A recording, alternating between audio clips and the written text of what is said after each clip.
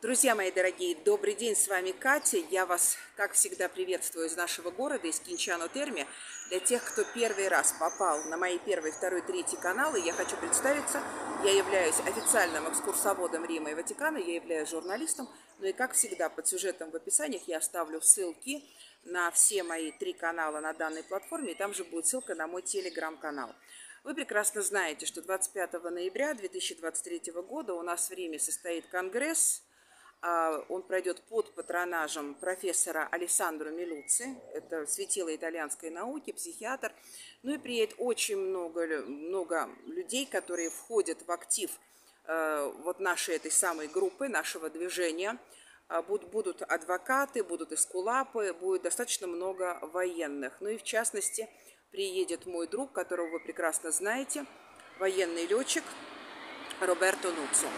Сейчас, когда мы готовим этот конгресс. Мы стараемся много общаться в личку, обсуждаем проект конгресса, э, кто какие будут задавать вопросы, какие темы мы будем обсуждать. И вот в формате подготовки я познакомилась, а точнее меня познакомил Роберто Нуцу со своим товарищем, со своим коллегой, тоже военный, но он не летчик, он офицер, он моряк.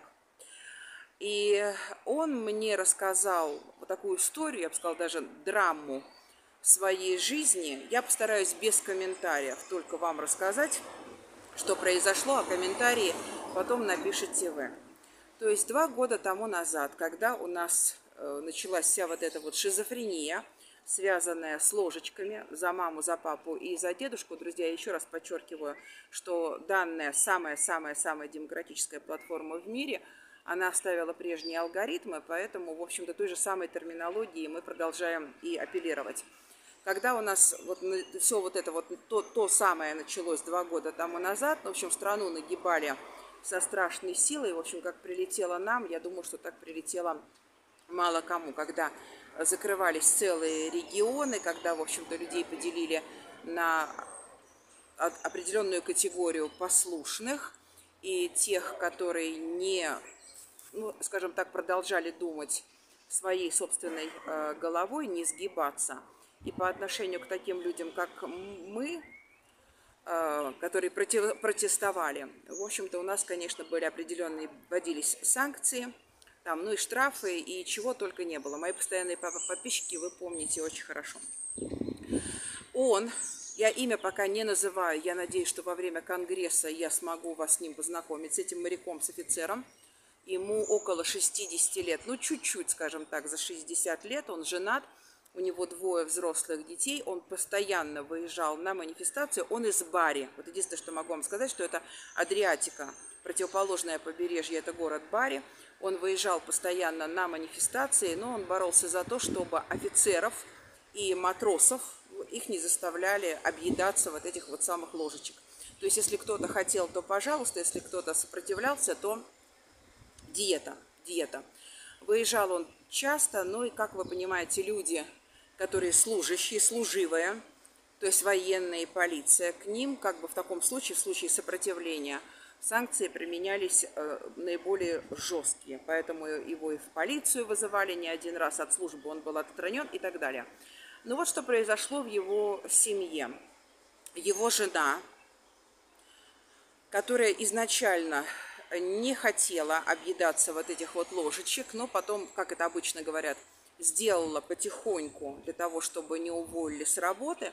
Но как потом выясня, выяснилось, как он мне рассказал, что с ней, именно с ней на работе, на ее работали, э, э, работали психологи, которые ее убеждали, что это надо сделать, вот именно непосредственно, э, именно по отношению к ней был вот такой вот особенный интерес.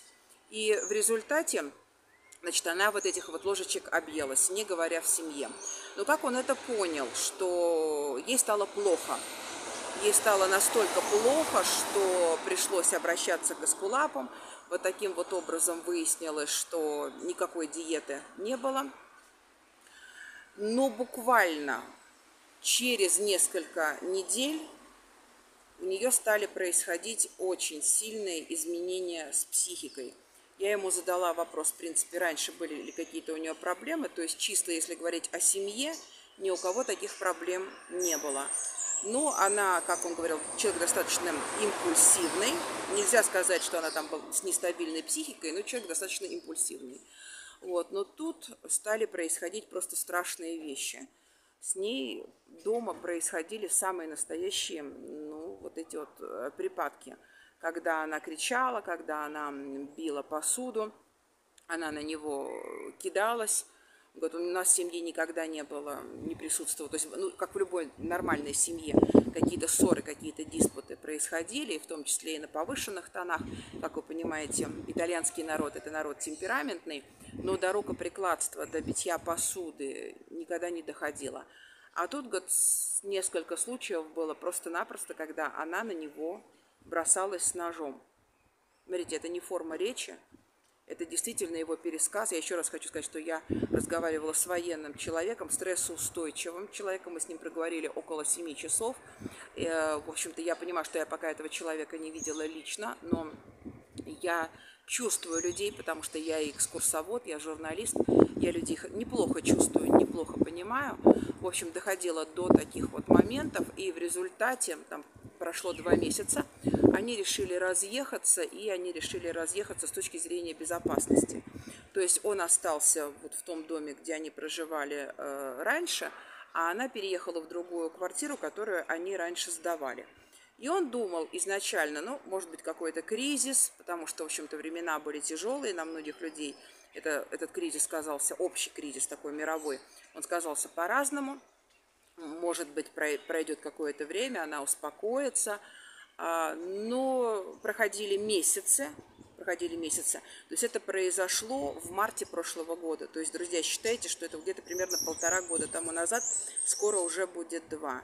То есть ситуация не улучшалась. Более того, она на него стала реагировать вот как триггер. Да, знаете, есть такое понятие в психологии триггер. То есть если даже встречались где-то на улице, она на него на улице наскакивала и устраивала очень неприличные сцены, которых раньше не было. То есть люди в браке больше 30 лет, то есть лучше, чем они друг друга никто не знает. То есть сами по себе коллеги отмечали, что она стала очень сложной, с ней, с ней работать было невозможно. То есть в результате она была вынуждена уйти с работы и из-за постоянных ссор, из-за постоянных конфликтов, которых раньше не было. А что касается вот ее мужа и даже в каком-то плане детей, реакция была как на определенный триггер. То есть доходила до карабинеров, до заявлений в полицию, до, скажем, таких даже вещей очень, ну, непростых. Вы знаете, ведь сейчас у нас, э, не только в Италии, наверное, и в других странах, если вы обратили внимание, у нас вот, это вот, вот этой бытовухи, ее стало очень много, когда практически, ну не каждый день, но хотя бы раз в неделю выходят определенные статьи, что там муж убил свою жену, своих детей, потом покончил жизнь самоубийством. То есть если раньше это, вот такие статьи они вызывали шок, то сейчас мне не хочется использовать этот термин и элемент. Это стало своеобразной рутиной. Вот, например, на севере Италии, недалеко от Венеции, вот буквально на днях произошел такой случай, что молодой человек убил свою девушку, 22 года ей было, то есть они расстались, вроде бы расстались достаточно мирно, и он ее убил, и карабинеры искали целую неделю. В общем, вот об этом, причем убил жестоко. И об этом пишет сейчас практически ну, вся пресса итальянская.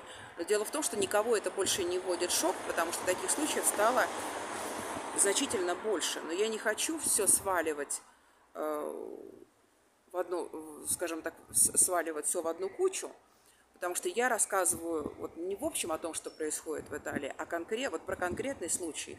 Потому что это не то, что там вот подрост, подростку, юношеский максимализм какой-то, на, это, на этой почве может что-то не то происходить. Я рассказываю о людях, которые прожили в браке больше 30 лет и которые очень хорошо друг друга знали.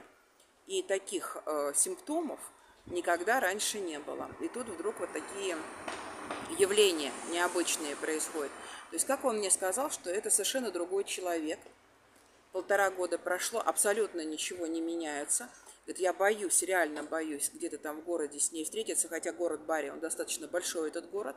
Но так получается, что они, в общем-то, живут а, в одном районе, продолжают жить. э, никаких там принудительных э, манипуляций. Если есть такое понятие ТСО, то есть тратаменту санитарию облигаторию, то есть это когда человек представляет опасность, его могут действительно принудительно лечить, но это очень сложная вещь, это очень сложная процедура. То есть к ней никаких мер не применяется, она больше не работает. Там каким образом живет, он не знает, хотя периодически, естественно, он там какие-то деньги переводит и так далее, потому что в Италии это очень жестко в этом отношении. То есть та сторона, которая в семье не работает, она, а кто-то работает, естественно, он должен своего супруга или супругу содержать, помогать, то есть э, это обязательно. Но в любом случае лучше ей не становится. И вот он считает, он говорит, я несколько раз уже пытался отталкивать вот эту мысль, но она, говорит, постоянно возвращается, что это такая была месть. Месть. То есть, вы знаете, у нас вот эти ложечки, они шли по принципу, как вот теперь думают специалисты независимые, по принципу вот русская рулетка. То есть, да, вот когда револьвер и в барабан там вставляется 7 патронов, 6 холостых, один боевой.